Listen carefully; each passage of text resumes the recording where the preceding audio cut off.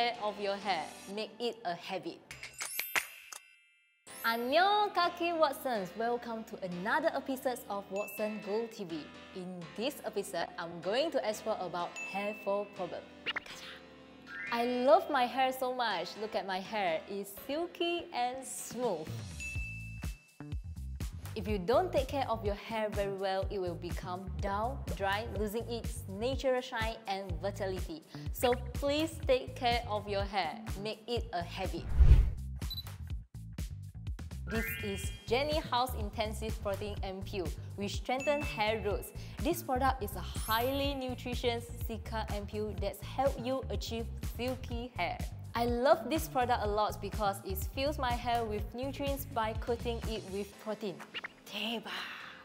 It's very suitable for my sensitive scalp. It lets you style without fear of damaged hair. Apply a small amount to the damaged tips of the strand as the part of your nightly hair care regimen. And you will wake up to the soft and silky smooth hair to the next after shampoo. See you next time. Bye bye!